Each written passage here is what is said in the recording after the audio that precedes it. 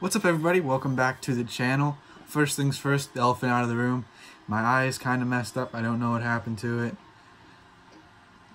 That's that's life, I guess. But today's a very awesome day. I just finished up something, an amazing print. Took me about 96 hours of working on it, whether it be sanding, programming, modeling, all that fun stuff. But I finally finished it. I finally finished Stormbreaker. I don't know if you guys know what that is, but that is Thor's axe. I'm gonna show you right now. Now I haven't glued it, I have not glued it together yet, but let me just back up to show this thing some justice. Check this thing out. It's huge. It's life size. Um, it's super cool. You can totally swing this around.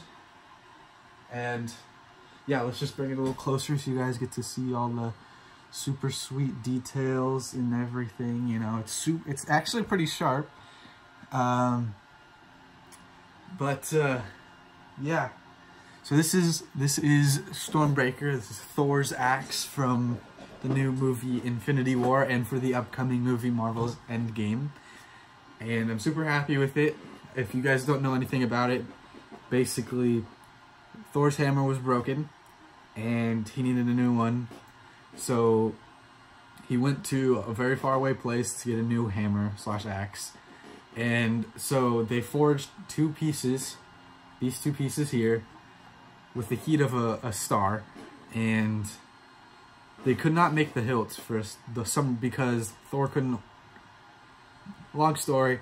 Uh, the third piece didn't get make get, did not get made, so Groot actually came in and bound the two pieces together with his arm.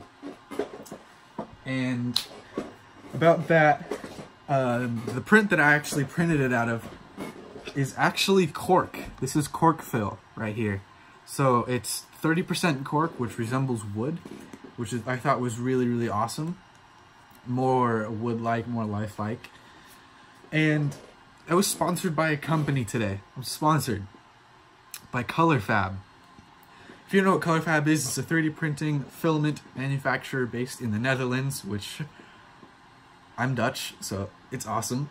Um, they gave me a spool of the cork fill, which I used to print the handle, and they also gave me a spool of steel fill. And I had a bad experience with that because I didn't have a new nozzle, so the print got clogged halfway through and I couldn't, I didn't have enough steel to print another part. That being said, it would have been awesome to have the handle be made out of steel, but I think it still looks awesome as is.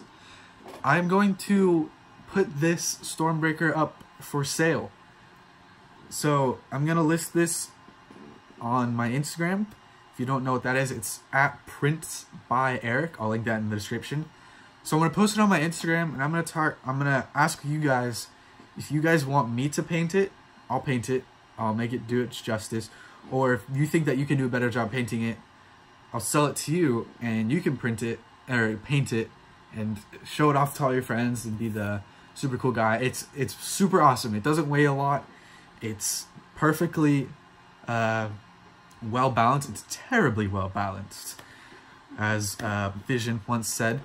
But yeah, other than that, it took about 96 hours total to make. I think it looks amazing. I'm really happy with the results of it. Um, other than that, I got a couple other projects in the works right now. I'm making something from the beloved game Overwatch. If you don't know what that is, Google it. Uh, I'm making two things actually from that. One of them is actually currently being printed right now. Um, but yeah, if you guys uh, like this video, um, feel free to like, comment, and subscribe and all that fun stuff. And uh, yeah, hope you guys enjoyed, and I'll catch you guys on the next video.